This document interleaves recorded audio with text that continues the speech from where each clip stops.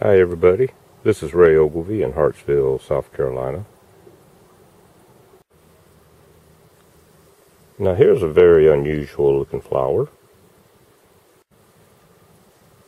Does this flower scare you? Maybe it should. This is the flower of a witch hazel. The word witch in witch hazel is spelled W I T C H, just like the witches in fairy tales.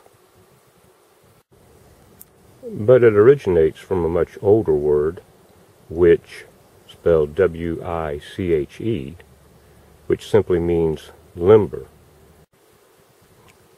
The name was given to the plant because of the wiry nature of its limbs.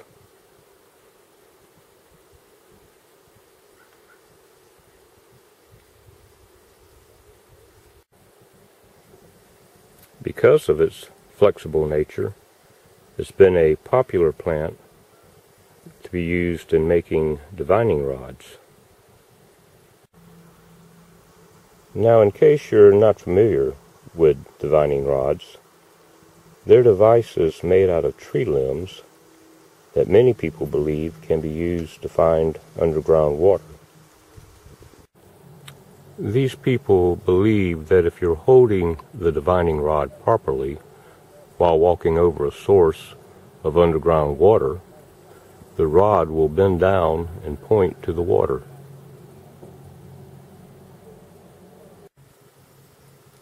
This somewhat magical quality being attributed to the plant may be why its name has transitioned from its old form to the present day form, W-I-T-C-H.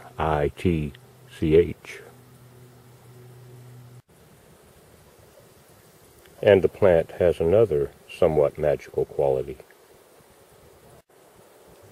When the plant stems are crushed and brewed down, an elixir is created that is soothing to the skin.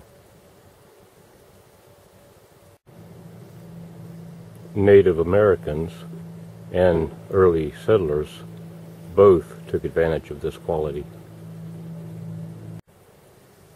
Witch hazel water is still sold today in drugstores for the treatment of rashes. As interesting as the history of this plant is, my favorite thing about it are these fantastic looking galls.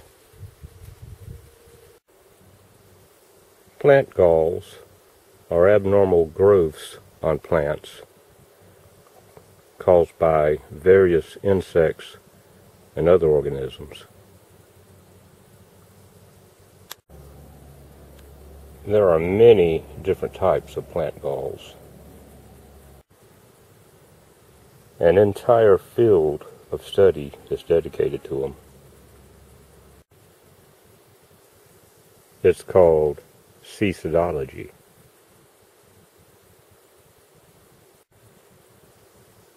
The spiny witch hazel galls that we see here are caused by female aphids. They occur when the aphids feed on the juices inside of flower buds. The aphids' mouths are shaped like straws. They can only inject digestive fluids and draw out plant fluids. While feeding, she introduces chemicals into the plant that causes the galls. The gall will continue to grow until it completely envelops her. Safe inside the gall, she'll start reproducing asexually. There are lots of tiny aphids living inside these galls right this minute. You probably have noticed all of the ants hanging around these galls In the process of feeding and trying to get all the nutrients they need, aphids tend to take in much more sugar than they can use. They excrete the excess sugar in the form of a substance known as honeydew. These ants can't resist it. It looks to me like the honeydew is somehow seeping out of the galls and the ants are collecting it. Trick or treat.